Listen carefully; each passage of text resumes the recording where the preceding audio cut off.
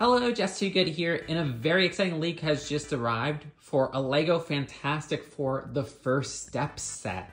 Look, so many of us have wanted a Fantastic Four LEGO set since the theme started in 2012 for Marvel superheroes. It took us this long waiting for the movie. Of course, we did get Doctor Doom in that Daily Bugle set from 2013. Now, this is from A. Clay Brick as well as Boo Earns, which nice reference there. And the set is called Galactus versus the Fantastic Four.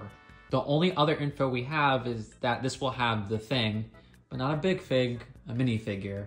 Honestly, that's kind of disappointing. Don't get me wrong, I like big figs coming as minifigures. Shout out to that OG Hulk polybag. But I really want a thing big fig. Again, we've never gotten any LEGO Fantastic Four stuff for the main team. So yeah, it would have been cool to get a thing big fig, but we're not getting one. Apparently it'll just be a minifigure. Now, I'm guessing the set will release in May 2025 since the movie is in July 2025. And we'll have to wait and see what the rest of the set will bring. Of course, they'll have Galactus, which is cool. I hope it's like an actual figure and not like they go with the route of, say, that the Silver Surfer movie where it's just like a cloud. but the other news from this is actually kind of sad. And it's that this might be the only MCU set of 2025 from a new movie.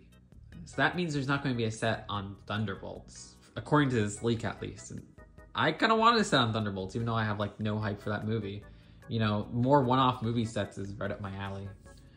So let me know what you think in the comments below. Subscribe here if you want more LEGO leaks, news, and commentary. Sorry if this one's a little bit rushed, but I am out of the house right now. I'll see you later. Peace out. Bye.